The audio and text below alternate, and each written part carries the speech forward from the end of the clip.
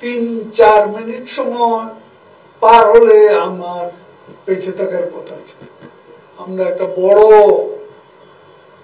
আধুনিক একটা হাসপাতাল করার একটা প্রস্তাব আছে। এবং আমাদের হাসপাতাল আছে, চিকিৎসাও ভালো, চিকিৎসকরা অনেক অভিজ্ঞ। কোথায় যেন সংকট রয়েছে। এখানে ট্রান্সপারেন্ট ম্যানারে কাজগুলো, যা যা দায়িত্ব পালন, প্রশাসনিক দায়িত্ব, এগুলো খুব চ্যালেঞ্জিং এই দায়িত্বটা সম্মিলিতভাবে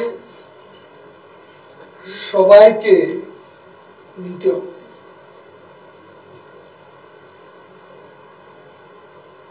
এখানে স্বাস্থ্য ব্যবস্থা নিয়ে, কার্যকারিতা নিয়ে অনেক প্রশ্ন আছে। প্যান্ডেমিকের সময় আমাদের দুর্বলতা, দগদগে ছবিটা স্পষ্ট হয়ে ওঠে। কি কঠিন অবস্থা ছিল।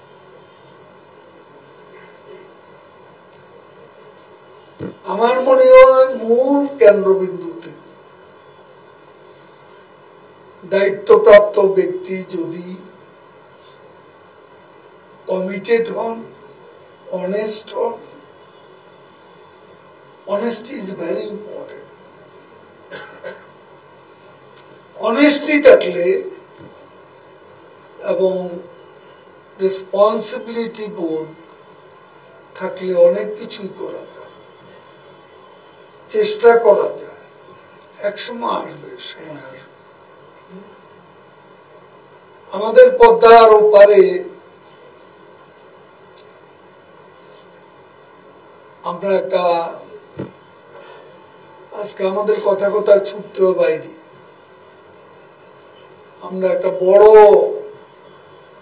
আধুনিক একটা হাসপাতাল করার একটা প্রস্তাব আছে। প্রস্তাবটা মাননীয় প্রধানমন্ত্রী কাছে দেয়া হয়েছে। প্রস্তাবটি অনুমোদন হলে আপনাদের জানাব। আমাদের একটা বড় আধুনিক হাসপাতালের খুব এখানে যেমন ক্যান্সারের জন্য, কিডনির জন্য, কিছু কিছু জটিল রোগ আছে আমাদের বাইরে দৌড়াতে আজকে আমার আর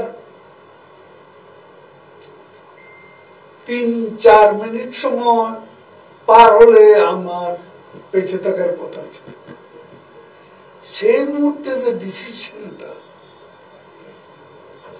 সেটা ভেরি ইম্পর্টেন্ট এবং এই ডিসিশনটা নিতে একটা দ্বিধা কাজ করে।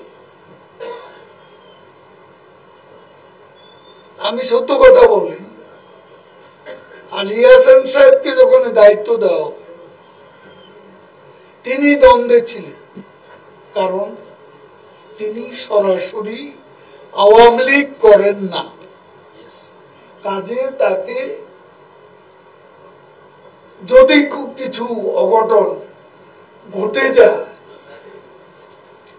তাহলে তাকে অ্যান্টি আওয়ামী লীগ বানিয়ে ছাড়বে।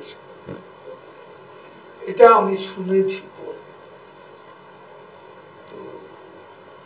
এসব কিছু সমস্যা আমাদের দেশে আছে। তারপর শেষ পর্যন্ত সাহস করে অপারেশনটা করেছে। না, এবং করাটা যে সঠিক, দেবী সেটি এসে তিনি যে স্বীকৃতি দিয়ে গেছেন যে যথাসময়ে সঠিক সিদ্ধান্ত নিয়েছে। আমাদেরটা